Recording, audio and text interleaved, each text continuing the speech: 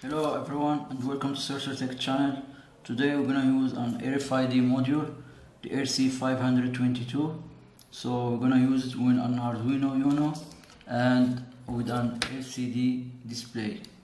Uh, you can use my previous video about how to use the LCD display with the Arduino Uno. So the kit comes with the RFID module which can read cards and tags. Then we have one RFID card and one tag. Then it comes with the pins, you have to, to solder them. So we're gonna see some functions about this module. So now I'm gonna wire the RFID module using some jump wires. I'm gonna use the LCD display too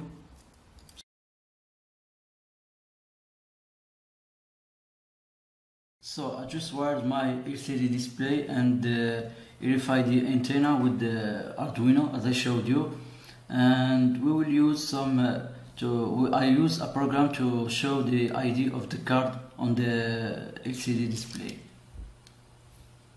So this is the, uh, the ID of this card. I showed it in decimal numbers and I can show the other ID of the tag.